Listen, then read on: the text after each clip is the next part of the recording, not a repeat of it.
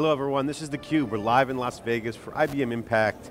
This is theCUBE, our flagship program. We go out to the events, extract a signal from the noise. I'm John Furrier, the founder of SiliconANGLE. I'm joined with Paul Gillin with SiliconANGLE. Paul, um, welcome to theCUBE, co-hosting. Such a delight, John. Um, for the folks out there, Paul Gillin's a veteran in the industry. Paul, you've been around the block a few times. Have you seen a few shows uh, here and there from back in the days of computer world? How many books have you written? Uh, five. Five books. Um, the industry is changing a lot, and IBM's always been at the center of it. I want to get your take on, on the show here. This is IBM Impact. This is their big show they bring as an extension to IBM Pulse. We got IBM Edge right around the corner. Uh, what is the theme of this show? Why is this show so big for IBM? Well, IBM Impact is really the customer show, and you know, I mean, they have a lot of shows that are sort of bunched up together early in the year, and it's kind of hard to tell which one is which, but Impact seems to be the one that brings together all of their major initiatives. So what we're seeing here a lot uh, John, is, is we're seeing new processors, uh, the new Power 8 uh, systems family. We're seeing a big focus on cloud and the announcement of Cloud Marketplace today, uh, and also on mobile. And those really are the three big focuses uh, uh, that IBM has going forward right now. So we're going to see a lot of repetition of these themes.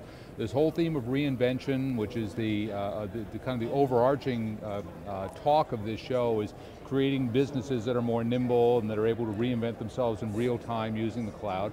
Uh, so they're trying to make a, a, stamp of themselves as being a forward-looking company. And so they call this, uh, uh, the theme of this show is be first. So that's what they want to be.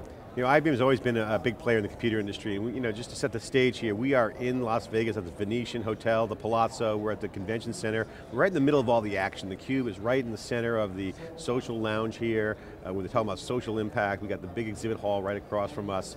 Um, and the action is, is really all about the customers. And, and really the big thing here in Vegas is, what will IBM do in the cloud? What are they going to deliver to their customers? What are they going to do to answer the, the, the threat and the push from Amazon Web Services in the cloud.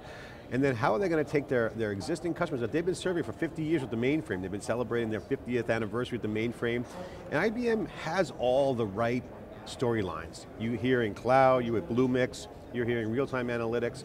Paul, they have everything tied together, but where's the meat on the bone? What, the, what does IBM have to do to win their customers over and continue to do business with them? I think it's all a matter of execution, John. You know, they've got the story right. They're clearly out front in the big data analytics space.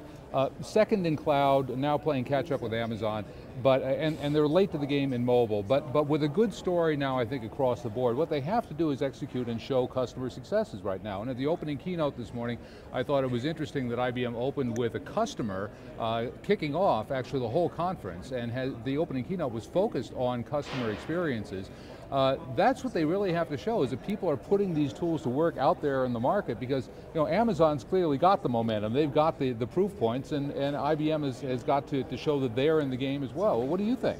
It's going to be fun to see. I mean, I think Amazon is clearly the, I've always said this, it's the big wave that's crashing onto the beach and it's just not stopping, it's a tsunami of some sort. The question is, not will Amazon be successful, how much of the beachhead does this wave crash into and how much territory does it take?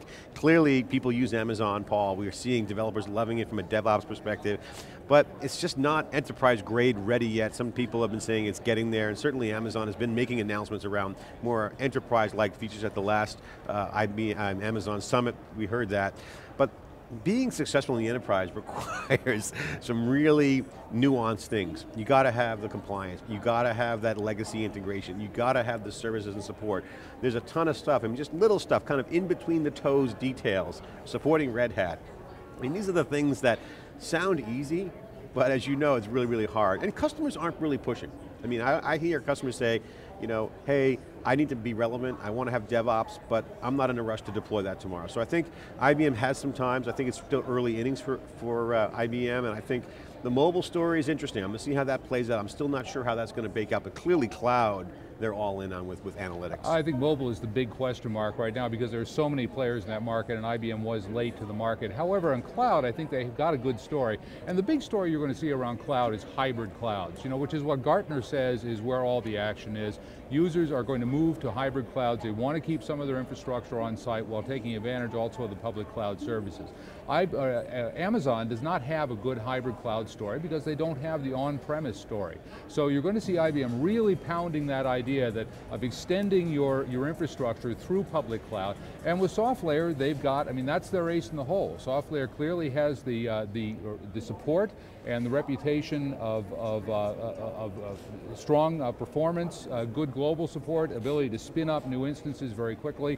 Uh, I think it's a story that, that it, SoftLayer is a good story for IBM, and that combined with this focus on really enabling the enterprise to move to the cloud in a, in a, a staged and, and a, a reasonable fashion, uh, not, a, not, not, cloud whiplash, is what you're going to see them doubling down on because it plays to their strength, which is that on-premise enterprise, uh, uh enterprise infrastructure. And SoftLayer gives them that, that, that, that new shiny toy in, in the portfolio, but it really has some interesting perspectives. I was really originally down on SoftLayer. I was like, ah, it's a hosting company. But when you look at what IBM is trying to do, they're trying to offer a broad a range of solutions for customers, from bare metal to fully integrated cloud with cloud and some of the things that they're doing with Bluemix. So I think what they're trying to do is saying, hey, you know what, Mr. Customer, if you want to go under the hood and do what you need to do, we're going to have some flexibility. And so being agile in the enterprise isn't as easy as saying, doing some DevOps. It really is pretty complicated. And and uh, what I love about IBM, Paul, is that we get to talk to all the, the interesting folks here, and we're going to have two days of wall-to-wall -wall live coverage here at SiliconANGLE. We're going to talk to Steve Mills later in the day. Uh, at 6.10 uh, Pacific time, we're going to hear from Steve Mills, who's a legend in the industry, and we're going to hear from GMs to tech fellows to some of their customers, and we're going to ask the hard questions. What is going on? Where's the traction? Where's the product? Uh, fit with some of the things that are really needed in the market because there's clearly a build, grow uh, mentality right now in the marketplace from customers. You know, in IT, it's not so much consolidation and, and doing more with less and reducing the cost and consolidating. Sure, that makes sense, you can commoditize, but there's a growth mode right now, there's a real build out. So, you know, I'm looking for those answers. Where's the progress? Is it, you know, inch by inch, is the ball being moved down the field? How is IBM helping the customers? So, so that, that's what I'm looking for. What are you looking for this week with our guests? Well, I'm going to be looking for a lot of, of more detail on the cloud story and how they're going to differentiate, differentiate from Amazon Web Services. You know, AB, AWS is growing like crazy. Uh, they've got a great story. They've become the default uh, uh, outsourced infrastructure provider for small companies. IBM clearly is going to have a difficult time competing with AWS on its own territory.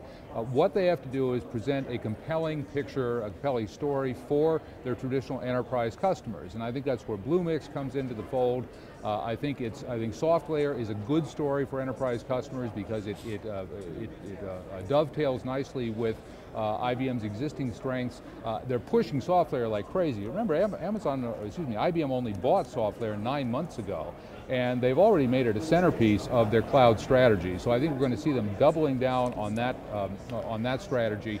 And uh, I'm going to be here looking for the enterprise story. You know, what are their existing customers going to take away from this? Because really, there's the risk of whiplash here. They're saying, you've got to go cloud, you've got to go big time mobile, you've got to, to disrupt your organization, literally, because analytics has got to get you into real time response uh, mode. And this is very disruptive for large organizations that are accustomed to command and control, that are very hier hierarchical. IBM is basically saying in the keynote today, you got to blow all that up. You got to make analytics drive your business literally on a day-to-day -day basis, changes in your business. So how are they going to make that real for customers that are not accustomed Just to operating that way? Describe the whiplash thing, because I mean, I, I, get images of an airbag going off. Is it, rip, is it rip and replace? What do you mean by whiplash? Well, I think whiplash, uh, what I mean by that is when you're telling companies, you've got to be responsive to your market on a day-to-day -day basis. And the message we heard in the keynote this morning is you have to organizationally be prepared to restructure your organization almost on the fly. Now, if, you know, if you're a Caterpillar, if you're a Citibank, if you're a company that has hundreds of thousands of employees, the idea of, of changing your organization on the fly like that is a scary thing. And it's one thing to say that, it's another thing to demonstrate how organizations are going to do it. That's where I think the whiplash comes in, customers are being told now that they have to really completely transform the way they come to the market. And that is, uh, uh, that is, is a scary proposition for a lot of these companies. IBM has got to show them that they're going to be the partner that's going to bring them there. Paul, I want to get your take on something because uh, you, you, know we've been in the industry for a while. You've been covering it certainly up and down for many, many years. And you know, living in Silicon Valley for myself, it's always about the shiny new toy, the, the, the Uber, the Dropbox, all these companies with mega valuations. We heard even Pure Storage got a $3 billion valuation. But IBM has been around for a long time. They're celebrating their 50th year of innovation with the mainframe. I was talking last night with someone about uh, you know, QIX CICS for um, is big part of the cloud announcement, and that's a transactional system for the mainframe. What's your take on, on the mainframe? It's still around, it never died. It's got a little bit of edge here, you're hearing about power systems.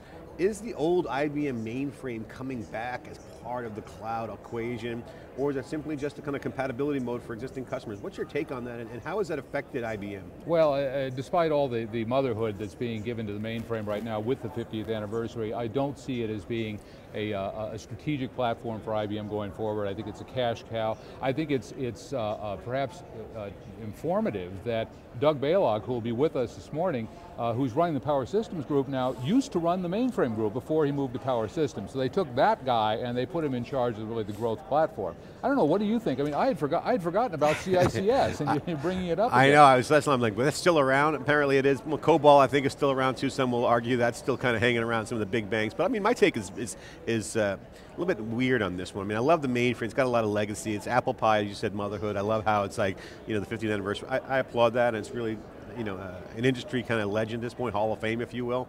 But to me, and Dave and I talk about this, going back to 2010 when Paul Maritz announced the new VMware uh, framework around VMworld 2010, and we were talking at that time, the cloud is like a mainframe.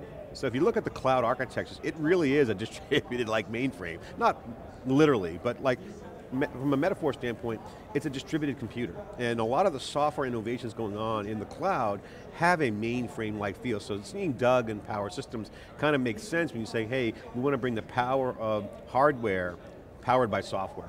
And so to me, I think that's the, the thing that I think IBM has a unique perspective on, and some DNA. I don't think it's so strategic as a product, but the mindset, you know, and you're seeing that mindset kind of trickle into the cloud.